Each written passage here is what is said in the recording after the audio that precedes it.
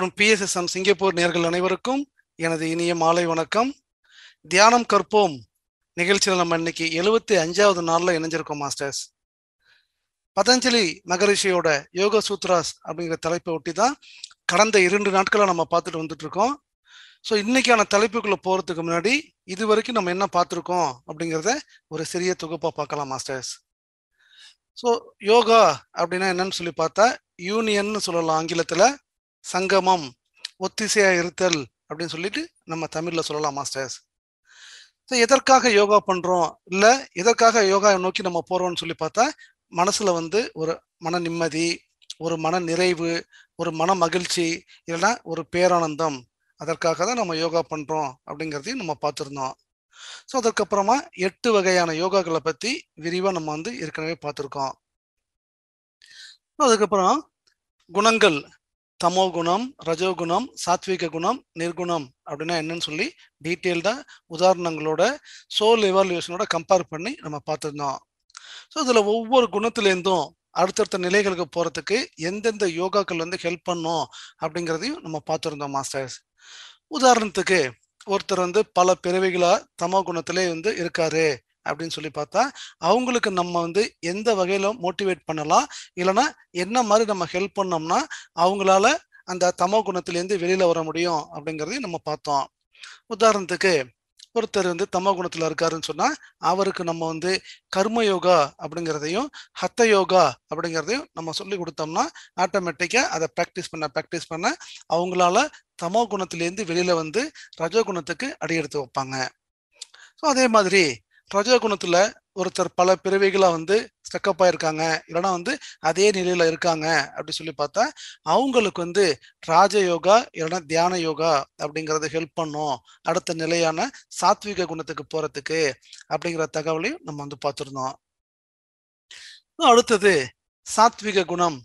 அதுலேருந்து அடுத்த நிலையான நிர்குணா அப்படிங்கிற ஸ்டேட்டுக்கு போகிறதுக்கு எது ஹெல்ப் பண்ணும் அப்படின்னு சொல்லி பார்த்தோம்னா ஞான யோகா அப்படிங்கிற யோகா ஹெல்ப் பண்ணும் அப்படிங்கிற தகவலையும் நம்ம பார்த்தோம்.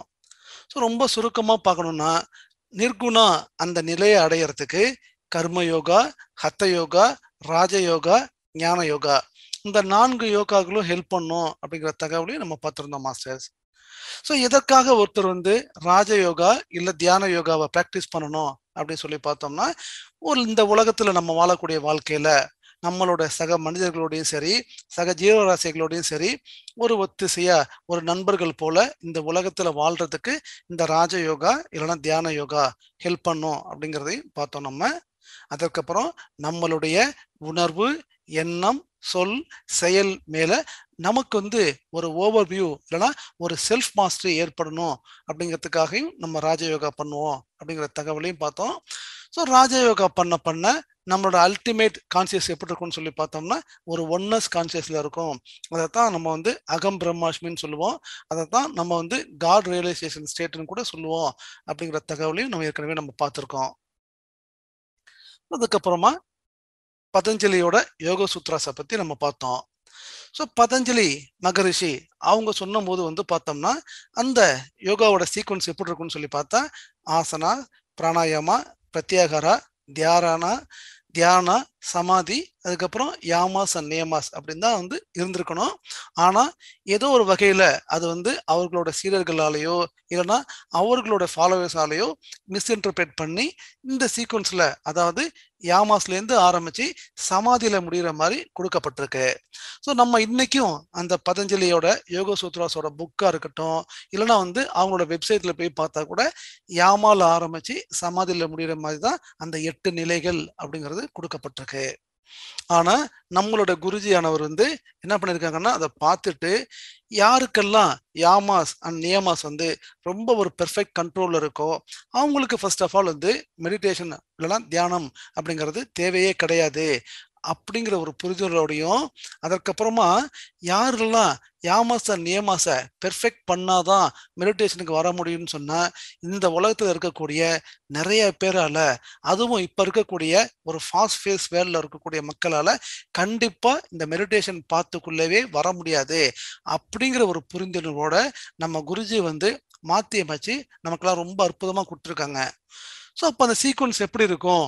அப்படின்னு சொல்லி பார்த்தோம்னா ஃபர்ஸ்ட் வந்து ஆசனா ரெண்டாவது வந்து பிராணாயாமா மூணாவது வந்து பிரத்யாகாரா நான்காவது தாரணா ஐந்தாவது தியானா ஆறாவது சமாதி ஏழாவது யாமாஸ் அப்புறம் எட்டாவது நியமாசன்னு சொல்லி வடிவமைச்சு நமக்காக கொடுத்துருக்காங்க மாஸ்டர்ஸ் அதுக்கப்புறமா ஃபர்ஸ்ட் வந்து ஆசனானா என்னன்னு சொல்லி நம்ம டீட்டெயிலில் நம்ம பார்த்தோம். இந்த ஆசனா அப்படிங்கிறது கூட சுகாசனா அப்படின்னு சொல்லி நம்ம பார்த்தோம். ஸோ இதுல யாரால தன்னுடைய பாடியை வந்து ரொம்ப ஒரு கம்ஃபர்டபுளான போஸ்டர்ல உட்காந்து நம்மளோட தியானத்தின் போஸ்டர் மாதிரி உட்காந்து ஒரு இரண்டு மணி நேரம் இல்லைன்னா ஒரு மூன்று மணி நேரம் இல்லைன்னா ஒரு நான்கு மணி நேரம் இல்லை அதற்கு மேற்பட்ட டூரேஷனுக்கும் வந்து தியானத்தை பண்ண முடியுதோ அவங்கள நம்ம வந்து ஆசன விஜயா அப்படின்னு சொல்லி நம்ம சொல்லலாம். அப்போனா அந்த மைண்ட் லெவல்லேருந்து அவங்களோட அவேர்னஸ் அப்படிங்கிறது ஈஸியாக அடுத்த நிலைக்கு போகக்கூடிய நிலைகளுக்கு வந்து அவங்க அடியெடுத்து வைப்பாங்க. ஸோ இதுதான் வந்து ஃபஸ்ட்டு ஸ்டெப்பு இல்லைன்னா வந்து ஃபஸ்ட்டு ஸ்டேஜ் ஆசனா அப்படிங்கிறது நேற்று நம்ம பார்த்தோம். அதற்கப்புறமா இரண்டாம் நிலை என்ன அப்படி சொல்லி பார்த்தோம்னா பிராணாயாமா அப்படிங்கிறதையும் நம்ம வந்து பார்த்துருந்தோம். இந்த பிராணாயாமா அப்படிங்கிறது கூட சுக பிராணாயாமா அப்படின்னு சொல்லி நம்ம பார்த்தோம். நம்மளோட இருக்கக்கூடிய இயல்பான நடக்கக்கூடிய சுவாசத்தை மட்டுமே நம்ம ஒரு விட்னஸாக இருந்து பார்க்கணும் அப்படிங்கிறத தான் இந்த செகண்ட் ஸ்டேஜான பிராணாயமலை கூட நம்ம நேற்று கோத்ரூ பண்ணோம். ஸோ இதில் வந்து எந்த விதமான மந்திரங்களோ ஜபங்களோ பிரார்த்தனைகளோ இல்லை எந்த விதமான காட்சிப்படுத்துதலோ இல்லைன்னா நம்மளோட சுவாசத்தை கூட மேனிப்புலேஷன் அப்படிங்கிறதும் பண்ணக்கூடாது அப்படிங்கிறத நம்ம நேற்று பார்த்துருந்தோம். யாரெல்லாம் சக்சஸ்ஃபுல்லா இந்த ஒரு ஸ்டேஜை வந்து கோத்ரூ பண்றாங்களோ அவங்கள நம்ம தியானி அப்படின்னு சொல்லலாம். இல்லைன்னா ஆங்கிலத்துல மெடிடேட்டர் அப்படின்னு சொல்லி சொல்லுவோம். அப்படிங்கிறதையும் நம்ம நேற்று பார்த்துருந்தோம். ஸோ அதுக்கப்புறமா அடுத்த நிலையான பிரத்யாகாரா அப்படிங்கிறத பத்தியும் நேற்று நம்ம பார்த்தோம்.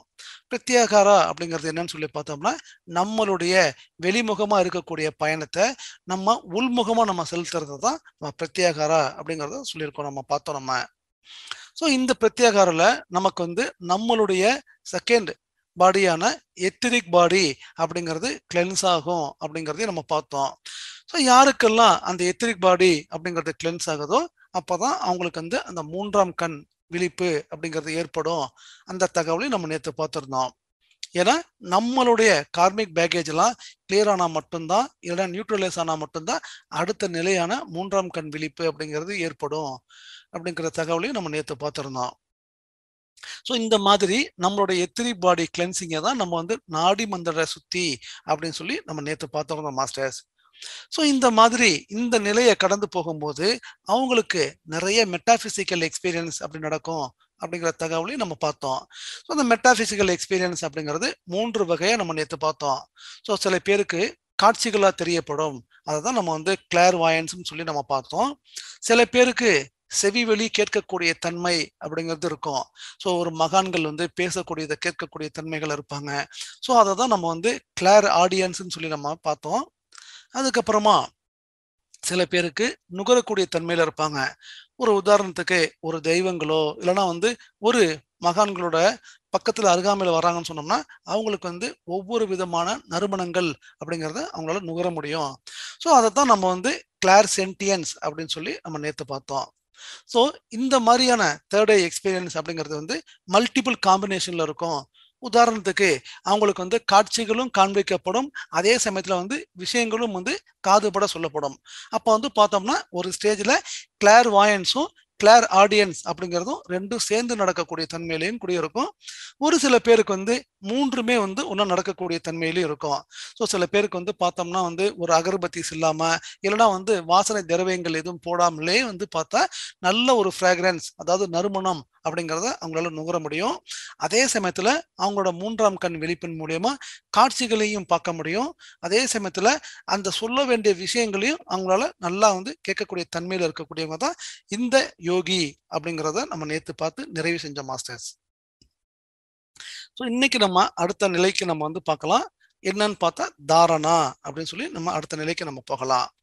ஸோ இந்த நிலைக்கும் முந்தின நிலைக்கும் என்ன வித்தியாசம் அப்படின்னு சொல்லி பார்த்தா ஃபர்ஸ்ட் ஸ்டேஜில் வந்து பார்த்தோம்னா இந்த மூணாவது கட்டத்தில் அவங்களுக்கு தேர்ட் ஐ அப்படிங்கிறது வந்து இனிஷியேஷன் ஆகி ஓப்பனிங் ஆகி அதன் மூலியமாக நிறைய விஷன்ஸை வந்து அவங்களுக்கு கிடைக்க ஆரம்பிக்கும்.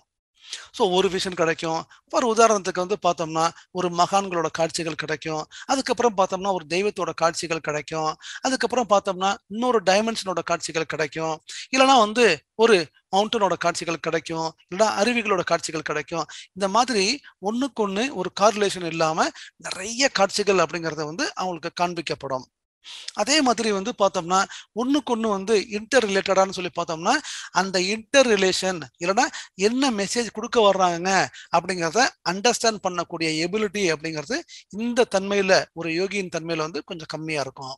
ஆனால் அடுத்த நிலை அதாவது இந்த தாரணா அப்படிங்கிற நிலைக்கு போகும்போது அவங்களுக்கு வந்து தேர்ட் ஐ பெர்ஃபெக்ஷன் அப்படிங்கிறது ஏற்பட ஆரம்பிக்கும். ஸோ தேர்ட் ஐ பெர்ஃபெக்ஷன்னா என்னன்னு சொல்லி பார்த்தோம்னா அவங்களுக்கு கிடைக்கக்கூடிய காட்சிகளை நம்ம எப்படி ஒரு உதாரணத்துக்கு ஒரு லென்ஸை வச்சு நம்ம வந்து கிட்டக்க பார்க்கும் போது நமக்கு வந்து அந்த விஷன்ஸ் சில பேருக்கு வந்து கண் தெரியாதவங்க வந்து நியூஸ் பேப்பர் படிக்கிறத நம்ம பார்த்துருப்போம் இல்லையா? நியூஸ் பேப்பர் இருக்கும். சில பேர் வந்து பழைய காலத்துலலாம் வந்து கண்ணாடி போட்டிருக்க மாட்டாங்க. ஒரு லென்ஸை வந்து மூவ் பண்ணி அப்படியே படிச்சுட்டே வருவாங்க இல்லையா? அந்த மாதிரி பார்க்கும்போது நம்ம எதன் மேலே ஃபோக்கஸ் பண்ண முடியுமோ அதை ஒரு ஜூம் இன் பண்ணி இல்லைன்னா பைனாக்குலர் கூட நம்ம ஒரு உதாரணமா எடுத்துக்கலாம் நம்ம. ஒரு சில காட்சிகளை வந்து நம்ம பைனாக்குலர்ல பார்க்கும் போது அந்த விஷன் சரியா தெரியலன்னா அந்த லென்ஸை நம்ம அட்ஜஸ்ட் பண்ணி பார்ப்போம் இல்லையா? அது மாதிரி நமக்கு கிடைக்கக்கூடிய அந்த தேர்ட் ஐ விஷன்ஸை வந்து ஒரு பைனாக்குலர்ல எப்படி நம்ம வந்து லென்ஸ் அட்ஜஸ்ட் பண்ணி நம்ம பார்க்க வேண்டிய காட்சிகளை வந்து மேக்னிஃபை பண்ணி இல்லைன்னா ஒரு பெரிதாக்கி நம்ம பார்க்குறோம் இல்லையா? அந்த மாதிரி எபிலிட்டி யாருக்கு இருக்குன்னு சொல்லி பார்த்தோம்னா இந்த தாரணா அப்படிங்கிற நிலையில இருக்கக்கூடியவங்களுக்கு இருக்கும் மாஸ்டர்ஸ் ஸோ அப்போ என்ன பண்ணுவாங்கன்னு சொல்லி பார்த்தோம்னா அவங்களுக்கு கிடைக்கக்கூடிய காட்சிகளா இருக்கட்டும் இல்லைன்னா செவி வழி கேட்கக்கூடிய தகவல்களா இருக்கட்டும் இல்லைன்னா நுகரக்கூடிய தன்மையில இருக்கக்கூடிய அந்த ஸ்மெல்ஸா இருக்கட்டும் அவங்களுக்கு வந்து இன்டர்பிரேட் பண்ணக்கூடிய எபிலிட்டியில இருந்துகிட்டு இருப்பாங்க. ஸோ இதை தான் நம்ம வந்து என்ன சொல்றோம்னு பார்த்தா தேர்ட் ஐ பெர்ஃபெக்ஷன் அப்படின்னு சொல்லி நம்ம சொல்றோம் நம்ம. ஸோ இதற்கு கூட நம்ம வந்து ஒரு உதாரணம் கூட நம்ம பார்த்தோம் இல்லையா? ஒரு புத்தர் வந்து ஒருத்தருக்கு வந்து காட்சி தராரு. ஓகே அந்த விஷன் வந்து ஒரு புத்தரை பார்க்குறாரு. அவருக்கு காட்சி கிடைக்குது. ஏதோ அந்த புத்தர் வந்து சொல்றதுக்கான சாத்தியம் இருக்கிறத வந்து அவர் பார்க்குறாரு. அப்போ வந்து பார்த்தோம்னா அந்த காட்சிகள் மூலியமா அந்த செவியின் மூலியமா ஒரு சில மெசேஜஸ் அப்படிங்கிறது அவரோட காதில் வந்து விழுது. ஆனா எப்ப வந்து அந்த மெசேஜ் அவரால் ப்ராப்பரா அந்த விஷன்ஸோட காரிலேட் பண்ணி கிடைக்கக்கூடிய இன்ஃபர்மேஷனை அவருடைய அன்றாட வாழ்க்கையில மாத்திக்கிறாரோ அப்பதான் அந்த தேர்ட் ஐ ஸ்டேஜுக்கு வந்து அட்டென்ட் பண்றாரு. அப்பதான் அந்த மெசேஜை வந்து அவரோட ப்ராக்டிக்கல் லைஃப்ல இம்ப்ளிமெண்ட் பண்ணும் போது தான் அவருக்குள்ள ஒரு இன்னர் டிரான்ஸ்ஃபர்மேஷன் அப்படிங்கிற நிலைக்கும் வந்து அவரால் போக முடியும். இல்லைன்னா காட்சிகள் கிடைச்சாலும் சரி செவி வழியா வந்து இன்ஃபர்மேஷன் கேட்டாலும் சரி அவருக்கு எந்த வகையிலும் பயனுங்கிறதும் இருக்காது. இல்லைன்னா அடுத்த நிலைக்கு முன்னேற்றம் அப்படிங்கிறதும் அவருக்கு இருக்காது மாஸ்டர்ஸ் ஸோ இதை கூட நம்ம வந்து ஒரு எக்ஸாம்பிள் மூலியமா நம்ம இப்போ பார்க்கலாம். நம்மளோட பிஎம்சி மாஸ்டரோட அனுபவத்தை ஷேர் பண்ணும்போது என்ன சொல்லியிருந்தாங்கன்னா அவங்களுடைய வந்து இடது முட்டி இருக்கு இல்லையா? அந்த முட்டியில வந்து ரொம்ப வருஷங்களாக அவங்களுக்கு வந்து வலி அவங்களுக்கு ஆக்சுவலாக அவங்களுக்கு எப்படியும் வந்து சொல்ல போனோம்னா வந்து ஒரு முப்பத்தஞ்சு வயசுக்கு வந்து அவங்களுக்கு வந்து இருக்கும் அவங்களுக்கு. ஸோ அந்த டைம்ல பார்த்தோம்னா கடந்த ஒரு நான்கு ஐந்து வருடங்களாகவே இடது முட்டியில வந்து உங்களுக்கு கடுமையான வலி அவங்களுக்கு. ஸோ அப்போ என்னன்னு சொல்லி பார்த்தோம்னா எவ்வளவோ பெயின் கில்லர் இல்லைனா வந்து எவ்வளவோ எக்ஸ்டர்னல் ஆயின்மெண்ட் தருவாங்க எக்ஸசைஸ் செய்வாங்க இல்லைனா வந்து யோகா எக்ஸசைஸ்லாம் செஞ்சு பார்ப்பாங்க. அந்த வலி அப்படிங்கிறது வந்து பார்த்தோம்னா கொஞ்ச நேரத்துக்கு ஒரு ஆயின்மெண்ட் அப்ளை பண்ணாங்கன்னா தற்காலிகமாக ஒரு இருபது நிமிஷத்துக்கோ இல்லைன்னா ஒரு ஒரு நிம் ஒரு ஒரு மணி நேரத்துக்கோ அந்த வலி அப்படிங்கிறது வந்து சப்சைட் ஆயிருக்கும் உங்களுக்கு. மறுபடியும் என்ன ஆகும்னு சொல்லி பார்த்தோம்னா அந்த வலிங்கிறது வந்துகிட்டு இருக்கும். ஸோ இப்படி வந்து அவங்களுக்கு வந்து காரணமே உங்களுக்கு வந்து புரியல உங்களுக்கு. என்னடா அது நம்ம வந்து ஒரு வருஷம் இல்லை ரெண்டு வருஷம் இல்லை மூணு வருஷம் இல்லை நாலு வருஷமா இந்த வலி அப்படிங்கிறது வந்து ரொம்ப வேதனைப்படுத்துது நமக்கு. ஸோ இதுலேருந்து நமக்கு வந்து எப்படி நமக்கு வந்து ஒரு விடிவு காலம் வரும்? ஏன்னா எப்படி நான் அது வந்து ரெக்டிஃபை பண்ணிக்கிறது? அப்படின்னு சொல்லிட்டு ஈவன் நிறைய வந்து அலோபதி டாக்டர்ஸை கூட போய் பார்த்துட்டு வந்துட்டாங்க. ஸோ அவங்களால என்ன முடியுமோ ஒரு பெயின் கில்லர் மாதிரி வந்து டேப்லெட்ஸை தர்றாங்க. சேம் தான் அவங்களுக்கு வந்து நிரந்தரமான தீர்வு அப்படிங்கிறது ஒன்றுமே இல்லை மாஸ்டர்ஸ் அவங்களுக்கு. ஸோ இப்படிப்பட்ட காலத்தில் அவங்க பிஎம்சியில் சேர்ந்து மெடிடேஷன் பண்ணிட்டு இருக்காங்க அவங்க. அதுவும் வந்து ரொம்ப இன்டென்ஸ் மெடிடேஷன் நம்ம ஏற்கனவே இன்டென்ஸ் மெடிடேஷனுக்கும் ஒரு நார்மல் மெடிடேஷனுக்கும் என்ன டிஃபரன்ஸ் அப்படிங்கிறத கூட நம்ம டேட்டில் பார்த்துருக்கோம் நம்ம. ஸோ அந்த மாதிரி மெடிடேஷன் பண்ண பண்ண அவங்களுக்கு அந்த தேர்ட் ஐ அப்படிங்கிறது கொஞ்சம் கொஞ்சமாக பெர்ஃபெக்ட் ஆக ஆக அவங்களுக்கு ஒரு விஷன் அப்படிங்கிறது தெரியுது அவங்களுக்கு. ஸோ இதில் நூறு முக்கியமான பாயிண்ட் என்னன்னு சொல்லி பார்த்தோம்னா இதில் தேர்ட் வந்து ரெண்டு காம்பினேஷன் நடக்குமான்னு சொல்லி பார்த்தோம்னா எல்லாருக்கும் அந்த மாதிரி நடக்காது. ஒரு சில பேருக்கு வந்து வெறும் காட்சிகள் மட்டும்தான் காமிக்கப்படும். அதை நம்ம இன்டர்பிரேட் பண்ணக்கூடிய எபிலிட்டியில் இருக்கணும் நம்ம. ஸோ அந்த அம்மாவுக்கு கிடைச்ச காட்சி என்னன்னு சொல்லி பார்த்தோம்னா ஒரு பட்டத்து யானைன்னு சொல்லுவோம் இல்லையா? ஒரு போருக்கு அலங்கரிக்கப்பட்ட யானையில வந்து நிறைய அலங்கரிக்கப்பட்ட யானையில இவங்க வந்து ஒரு பெண்மணி அதாவது வந்து ஒரு போர்ல வந்து ஈடுபடக்கூடிய ஒரு பெண்மணியா இருக்காங்க. அந்த டைம்ல இவங்களோட பெரிய வால்ல வந்து அந்த யானையோட இடது காலில் அதாவது அந்த முட்டி பகுதியில் வந்து வெட்டி அது வந்து ரத்தம் கசிகிற மாதிரியும் அந்த யானையோட கண்கள்லேருந்து தண்ணி ஊற்றுற மாதிரியான ஒரு சீன் மட்டும்தான் அவங்களுக்கு வந்து மூன்றாம் கண் மூலியமாக காண்பிக்கப்படுது. ஸோ இதுதான் மாஸ்டர் அவங்களோட விஷன் இதுல ஸோ அதுக்கப்புறமா அந்த காட்சிகளை பார்த்ததுக்கு அப்புறமா அவங்க வந்து விஷுவலைஸ் பண்ணி தன்னோட ப்ராக்டிக்கல் லைஃப்ல வந்து காரிலேட் பண்றாங்க. காரிலேட் பண்றதுங்கிறது வந்து ஒப்பிட்டு பார்க்கறது. ஸோ ஒப்பிட்டு பார்க்கும் போது என்ன தோணுதுன்னா ஏன் இந்த காட்சி வந்து எனக்கு காண்பிக்கப்பட்டது? ஸோ இந்த காட்சியின் மூலியமா நான் என்ன அண்டர்ஸ்டாண்ட் பண்ணிக்கணும்? இல்லைன்னா என்னோட லைஃபுக்கும் இந்த காட்சிக்கும் என்ன சம்பந்தம்? அப்படிங்கிறத வந்து அவங்க பார்க்குறாங்க. ஸோ அப்படி பார்க்கும் போது அவங்களுக்கு தோணுது அந்த யானையோட முட்டியில வந்து இவங்க போரிடும் போது வாளால வெட்டப்பட்டு அந்த யானை வந்து வலியும் வேதனையும் வந்து அனுபவிச்சிருக்கு. அப்படிங்கிறத அவங்களால அண்டர்ஸ்டாண்ட் பண்ணிக்கிறாங்க. அந்த பிக்சர் மூலியமா அந்த காட்சியின் மூலியமா. ஸோ அப்போ அவங்களுக்கு தெரியுது எப்பயோ ஒரு பிறவியில முற்பிறவிலையோ இல்லைன்னா வந்து அதற்கு முந்தின பிறவிலையோ ஒரு வந்து துன்பத்தை நான் கொடுத்துருக்கேன். அதனுடைய விளைவு தான் எனக்கு இப்போ வந்து பார்த்தா அந்த லெஃப்ட் முட்டியில அதே மாதிரி வழியும் வேதனையும் நான் அனுபவிச்சுட்டு இருக்கேன் அப்படின்னு சொல்லிட்டு அவங்க ஆன்மாவோட கனெக்ட் பண்ணி அவங்க வந்து பேசுறாங்க ஆக்சுவலா எப்படின்னா தெரிஞ்சோ தெரியாமலோ இப்பெருவிலோ முப்பிரிவிலோ நான் வந்து இந்த மாதிரி துன்பத்தை கொடுத்துட்டேன். அதற்கு வந்து என்னோட ஆத்மாத்தமான வந்து வருத்தத்தையும் மன்னிப்பையும் நான் கேட்டுக்கிறேன்னு சொல்லிட்டு இந்த மாதிரி வந்து ஒரு தாட்டை ரிலீஸ் பண்ணி அவங்க வந்து அந்த மெடிடேஷனோட கனெக்ட் பண்ணும் போது ஒரு சில நாட்கள்லே கம்ப்ளீட்டா அந்த முட்டி வெளியிலேருந்து அவங்க வந்து முற்றிலுமா வந்து விடைபட்டு விடுபட்டு வெளியில வந்துடுறாங்க மாஸ்டர்ஸ் இதுல. ஸோ இப்போ இதன் மூலியமா இந்த உதாரணத்தின் மூலியமாகவும் அந்த புத்தரோட எக்ஸாம்பிள் மூலியமாகவும் நம்ம என்ன புரிஞ்சுக்கலாம்னு சொல்லி பார்த்தோம்னா நமக்கு வந்து மூன்றாம் கண் விழிப்பின் மூலியமா காட்சிகளோ இல்லைனா வந்து செவி வழி வந்து இன்ஃபர்மேஷனோ இல்லைனா வந்து வேறு ஏதாவது ஒரு வகையில் காம்பினேஷனில் கூட நமக்கு வந்து இன்ஃபர்மேஷன் அப்படிங்கிறது நமக்கு கிடைக்க ஆரம்பிக்கும். ஆனால் எப்போ நமக்கு அந்த இன்டர்பிரேட் பண்ணக்கூடிய கேப்பபிலிட்டியில் நம்ம இருக்கோமோ அப்போ மட்டும்தான் அந்த விஷன்ஸ் வந்து நமக்கு வந்து யூஸ்ஃபுல்லாக இருக்கும். ஸோ எப்படி வந்து இந்த மெடிடேட்டர் வந்து அவங்க காட்சிகளை வந்து பார்த்து அதை வந்து இன்டர்பிரேட் பண்ணி தன்னோட ப்ராக்டிக்கல் லைஃபுக்கு வந்து அவங்களுக்கு வந்து அப்ளிகபிள் பண்ணிக்கிறாங்களோ அப்போ மட்டும்தான் அவங்களுக்கு டிரான்ஸ்ஃபர்மேஷன் அப்படிங்கிறது ஏற்பட ஆரம்பிக்குது. ஸோ இதுதான் நம்ம வந்து தேர்ட் ஐ பெர்ஃபெக்ஷன் அப்படின்னு கூட நம்ம சொல்லலாம். ஸோ இது மாதிரி வந்து நிறைய எக்ஸாம்பிள்ஸ் இருக்கு. இன்னும் அடுத்தடுத்த செஷன் வரும்போது நான் சொல்றேன் நான். ஸோ யாரெல்லாம் இந்த நிலையை வந்து ரொம்ப சக்ஸஸ்ஃபுல்லாக கடந்து போகிறாங்களோ அவங்கள தான் நம்ம வந்து ரிஷி அப்படின்னு சொல்லி நம்ம சொல்லலாம். இதுதான் வந்து நான்காவது நிலை. பதஞ்சலியோட யோக சூத்ராஸ்ல நான்காவது நிலை தாரணா. அவங்கள தான் வந்து நம்ம ரிஷின்னு சொல்லி நம்ம அழைக்கிறோம். ஸோ அடுத்தது ஐந்தாம் நிலை என்ன அப்படின்னு சொல்லி பார்த்தோம்னா தியானா அப்படின்னு சொல்லி சொல்லலாம் நமக்கு. ஸோ இந்த நிலையில அதாவது ஒரு பாடி லெவல் கான்சியஸ்லேருந்து ஒரு mind level conscious mind level கான்சியஸ்லேருந்து அடுத்த நிலைக்கு வந்து அவங்க முன்னேறி சென்று சென்று அடுத்தது என்ன நடக்குதுன்னு பார்த்தோம்னா அவங்களோட எத்திரிக் பாடியோட கிளென்சிங் நடக்குது. ஸோ இதெல்லாம் ப்ராசஸ்லாம் முடிஞ்சு தேர்ட் ஐ இனிஷியேஷன் நடந்து தேர்ட் ஐ பெர்ஃபெக்ஷன் நடந்ததுக்கு அப்புறம் தான் இந்த நிலையான தியான நிலைக்கு வந்து அவங்க போறாங்க. ஸோ இப்போ என்ன நடக்கும்னு சொல்லி பார்த்தோம்னா நமக்கு வந்து நமக்கு ஏற்கனவே நம்ம வந்து சட்டில் பாடிஸ் அதாவது செவன் பாடிஸ் பார்க்கும் போதே நம்ம எத்திரிக் பாடியை பற்றியும் நம்ம பார்த்துருக்கோம் ஆஸ்ட்ரல் பாடியை பற்றியும் நம்ம வந்து பார்த்துருக்கோம் இல்லையா? இந்த நிலையில அவங்களுக்கு கிடைக்கக்கூடிய எனர்ஜிஸ் வந்து ஃபர்ஸ்ட் எத்திரிக் பாடியில வந்து கிளென்ஸ் ஆகி எத்திரிக் பாடியில எனர்ஜிஸ் அப்படிங்கிறது கிடைக்க ஆரம்பிக்கும். ஸோ அதுக்கப்புறமா அடுத்த பாடியான ஆஸ்ட்ரல் பாடிக்கும் அவங்களுக்கு எனர்ஜிஸ் அப்படிங்கிறது கிடைக்கும். ஸோ இது வந்து வெறும் மெடிடேஷனில் மட்டும்தான் நடக்குமான்னு சொல்லி பார்த்தோம்னா மெடிடேஷன்லையும் நடக்கும். அதே சமயத்தில் தூக்கத்தில் நம்ம மனமற்ற நிலையில் இருக்கும் போதும் நமக்கு வந்து இந்த எனர்ஜிஸ்ங்கிறது கிடைக்க ஆரம்பிக்கும். ஸோ இந்த ரெண்டு ப்ராசஸ்லையுமே எப்போ நம்மளுடைய மனம் அப்படிங்கிறது வந்து ஒரு மனமற்ற நிலையில் இருக்கோ அப்போ தான் நமக்கு வந்து அந்த எத்திரிக் பாடியிலையும் நமக்கு எனர்ஜிஸ் கிடைக்கும். அதே சமயத்தில் அந்த எத்திரிக் பாடிஸ்லேருந்து ஓவர் ஃப்ளோ ஆனக்கூடிய எனர்ஜிஸ் வந்து நம்மளுடைய ஆஸ்ட்ரல் பாடிஸ்லையும் நமக்கு ஃபில்அப் ஆகும். ஸோ அந்த ஒரு சூழ்நிலையில் அந்த ஆஸ்ட்ரல் பாடி அப்படிங்கிறதுக்கு ஒரு போதுமான அளவுக்கு எனர்ஜி கிடைச்சதுக்கு அப்புறமா அந்த பாடி அந்த உடலை விட்டு வெளியில் வரும் மாஸ்டர்ஸ் ஸோ இந்த மாதிரி தூக்கத்தின் போது அந்த ஆசல் பாடி நம்மளை விட்டு வெளியில போய் நிறைய அனுபவங்களை வந்து பெற்றுக்கொண்டு வரும் அது. ஸோ அதைத்தான் நம்ம வந்து கனவு. இல்லைன்னா ஆங்கிலத்துல வந்து ட்ரீம்ஸ்னு சொல்லி நம்ம சொல்றோம் நம்ம.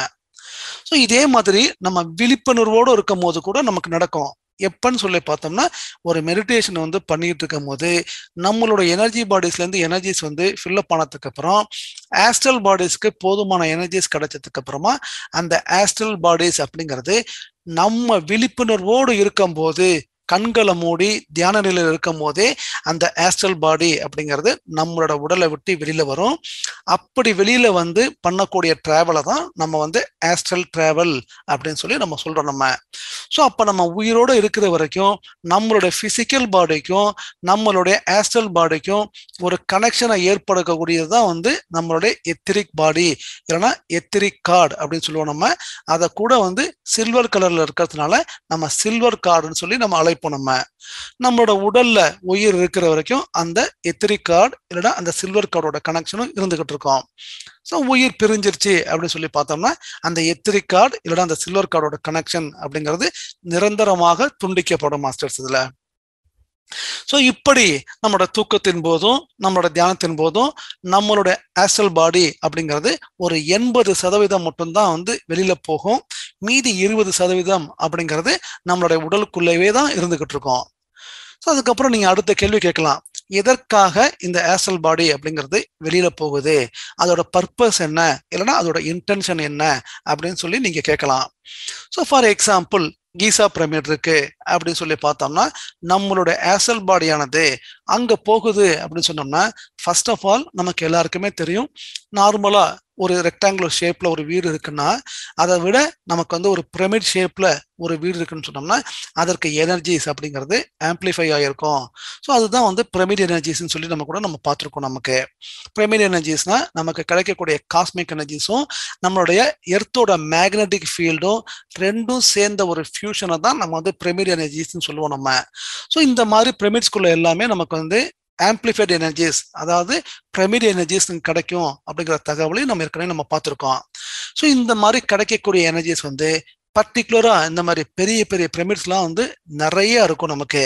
சாதாரணமாக நம்ம வந்து ஒரு டூ ஹவர்ஸ் ஒரு த்ரீ ஹவர்ஸ் நம்ம வெளியில உட்காந்துருக்கோம்னா அதை விட ஒரு ஒன் ஹவர் நம்ம வந்து பிரமிட்குள்ள இருந்து நம்ம மெடிடேஷன் பண்ணோம்னா அதற்கான எனர்ஜிஸ் அப்படிங்கிறது ரொம்ப ஃபாஸ்டா நம்மளால ரீகெயின் பண்ண முடியும். ஸோ இந்த மாதிரி ஃபர்ஸ்ட் பர்பஸ் என்னன்னு சொல்லி பார்த்தோம்னா ஒரு எனர்ஜி மேக்சிமைசேஷனுக்காக வேண்டி அந்த ஆஸ்ட்ரல் பாடி அப்படிங்கிறது வெளியில போகும். ரெண்டாவது வெவ்வேறு டைமென்ஷனுக்கு போய் அங்க உள்ள அனுபவத்தை பெற்றுக்கொள்றதுக்காக வேண்டி அந்த ஆஸ்ட்ரல் டிராவல் அப்படிங்கிறது நடக்க ஆரம்பிக்கும். இது ரெண்டாவது முக்கியமான பர்பஸ் இது. மூணாவது பர்பஸ் என்னன்னு சொல்லி பார்த்தோம்னா அதோட ரிலாக்ஸேஷனுக்காக வேண்டி போகிட்டு ஒரு சில மணி நேரங்கள் வந்து ரிலாக்ஸேஷன் ஆனதுக்கு அப்புறமா எந்த டைம்ல அந்த பிசிக்கல் பாடி அப்படிங்கிறதுக்கு வந்து போதுமான எனர்ஜிஸ் கிடைச்சி அது ஒரு விழிப்பு நிலைக்கு வருதோ அதற்கு முன்னாடி அந்த ஆஸ்ட்ரல் பாடி அப்படிங்கிறது நம்மளோட பிசிக்கல் பாடிக்குள்ள வந்து சேர்ந்துடும் மாஸ்டர்ஸ் இது. ஸோ இந்த மூணு பர்பஸ்க்காக தான் நம்மளோட ஆஸ்ட்ரல் பாடி அப்படிங்கிறது வெளியில போகுது. நான் மறுபடியும் நான் ரிப்பீட் பண்றேன். ஃபர்ஸ்ட் வந்து நமக்கு அந்த ஆஸ்ட்ரல் பாடிஸ் வந்து எனர்ஜிஸை ரிசீவ் பண்றதுக்கு போகுது. ரெண்டாவது வந்து எக்ஸ்பீரியன்ஸை கெயின் பண்றதுக்காக போகுது. மூணாவது வந்து ஒரு ரிலாக்ஸேஷனுக்காக போகுது நமக்கு. ஸோ இந்த மாதிரி எல்லாம் நிறைய ஆஸ்ட்ரல் டிராவல் நடக்கும் போது நமக்கு என்ன ஒரு கிளாரிட்டி கிடைக்கும் அப்படின்னு சொல்லி பார்த்தோம்னா ஓ நமக்கு வந்து இந்த உலகம் மட்டும் ஒரு டைமென்ஷன் கிடையாது. இது மாதிரி நிறைய டைமென்ஷன் இருக்கா? அப்ப நம்ம பிசிக்கல் பாடி மட்டும்தான் இல்லைன்னா வந்து நம்ம அந்த பிசிக்கல் வேர்ல்டு மட்டும்தான் ஒரே ஒரு லோகம் நினைச்சிருந்தோமே. அப்பனா வெவ்வேறு லோகங்கள் இருக்கா? அங்கேயும் மனிதர்கள்லாம் வாழ்ந்துட்டு இருக்காங்களா? அங்கேயும் நமக்கான தேவையான அனுபவங்கள்லாம் கிடைக்குமா? அப்படிங்கிற ஒரு கிளாரிட்டி அப்படிங்கிறது நமக்கு கிடைக்க ஆரம்பிக்கும். ரெண்டாவது வந்து நம்மளுடைய பாடி அதாவது பெர்மனன்ட் பாடிங்கிறது காசல் பாடி மட்டும்தான். அப்போ இருக்கக்கூடிய ஃபிசிக்கல் பாடியாக இருக்கட்டும் இல்லை எத்திரிக் பாடியாக இருக்கட்டும் இல்லை ஆசல் பாடியாக இருக்கட்டும் இல்ல மென்டல் பாடியாக இருக்கட்டும் இதெல்லாம் வந்து டெம்பரரி பாடிஸ் தானா? எப்படி நம்ம வந்து ஒரு ஃபங்க்ஷனுக்கு போகும்போது இப்போ ஜென்ஸாக இருந்தோம்னா இப்போ நான் ஃபார் எக்ஸாம்பிள் நான் வந்து ஒரு பனியன் போட்டிருப்பேன். அதுக்கு மேலே வந்து பார்த்தோம்னா ஒரு ஷர்ட் போட்டிருப்பேன். அதுக்கு மேலே குளிருக்கு தகுந்த மாதிரி ஒரு ஜாக்கெட் போட்டிருப்பேன். ஸோ அந்த மாதிரி ஒவ்வொரு உடைகளும் வந்து அந்த காசல் பாடிக்கு மேலே அடுக்கடுக்காக கொடுக்கப்பட்டிருக்கா? ஸோ ஒன்ஸ் நம்ம வந்து ஃபிசிக்கல் பாடியை வெக்கேட் பண்ணும் போது இந்த எல்லா பாடிஸும் அதாவது physical body etheric body astral body mental body இந்த நாலு பாடியும் வந்து டிராப் ஆயிருமா? அப்படிங்கிற ஒரு கிளாரிட்டி நமக்கு வந்து கிடைக்க ஆரம்பிக்கும். ஸோ எப்போ நமக்கு அந்த கிளாரிட்டி அப்படிங்கிறது கிடைக்க ஆரம்பிக்குதோ அப்போ நமக்கு தெரியும் நமக்கு வந்து யாருக்குமே வந்து டெத்துங்கிறது கிடையாது. சோல் இஸ் இம்மார்டல் அப்படிங்கிறத நம்ம வந்து உணர ஆரம்பிச்சிருவோம் நமக்கு. ஸோ அப்போ நமக்கு வந்து இந்த ஃபிசிக்கல் பாடியாக இருந்தாலும் சரி இந்த ஃபிசிக்கல் எர்த்துன்னு சொல்லக்கூடிய இந்த பிரெயினும் கூட வந்து நம்ம ஒரு அனுபவத்திற்காக எடுக்கக்கூடியதான் இந்த உடலும் சரி இந்த பிரெயினுக்கு வந்திருக்கிறதும் அப்படிங்கிற ஒரு கிளாரிட்டியும் நமக்கு வந்து கிடைக்க ஆரம்பிக்கும் மாஸ்டர்ஸ் ஸோ யாரெல்லாம் ஒரு சக்சஸ்ஃபுல்லாக நம்ம இந்த ஸ்டேஜை வந்து முழு அனுபவத்தோட ரியலைஸ் பண்ணி நான் இந்த உடல் கிடையாது இந்த மனம் கிடையாது இந்த புத்தியும் கிடையாது நான் ஒரு ஆன்மா அப்படிங்கிறத வந்து கொஞ்சம் கொஞ்சமா ரியலைஸ் பண்ண ஆரம்பிக்கிறாங்களோ அவங்கள தான் நம்ம வந்து ஒரு ராஜ ரிஷின்னு சொல்லுவோம். இல்லைன்னா மக ரிஷின்னு சொல்லி நம்ம அழைப்போம் மாஸ்டர்ஸ் ஸோ இதுதான் பதஞ்சலி யோக சூத்திரஸ்ல ஃபிஃப்த் ஸ்டேஜ் இது. ஸோ நம்ம நாளை உள்ள வகுப்புலேருந்து நம்ம வந்து அடுத்த நிலைகளான சமாதியை பார்த்துட்டு அதுக்கப்புறம் இன்னும் பெர்ஃபெக்டாக யாமாசையும் நியமாசையும் பற்றி டீட்டெயில்ல நம்ம பார்க்கலாம் மாஸ்டர்ஸ் ஸோ இந்த சமாதி நிலையில யாரெல்லாம் சக்ஸஸ்ஃபுல்லாக கோத்ரூ பண்றாங்களோ அவங்கள தான் நம்ம வந்து பிரம்ம ரிஷின்னு சொல்லி அழைப்போம் நம்ம.